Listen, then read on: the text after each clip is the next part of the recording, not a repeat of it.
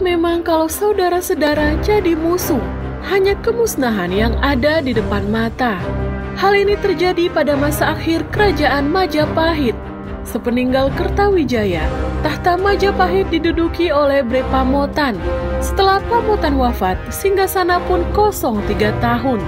Pada 1456, Bre Wengker naik tahta dan berkuasa satu dekade. Wengker pun digantikan oleh Bre Pandan Salas. Perang belum mereda. Pandan Salas diserang Bre Kertabumi yang membuatnya harus menyingkir dari keratonnya ke Daha. Pada 1474, Bre Pandan Salas meninggal dan digantikan oleh Dia Ranawijaya. Dia Ranawijaya balas menyerang Bre Kertabumi dan berhasil menjadi raja terakhir kerajaan Majapahit.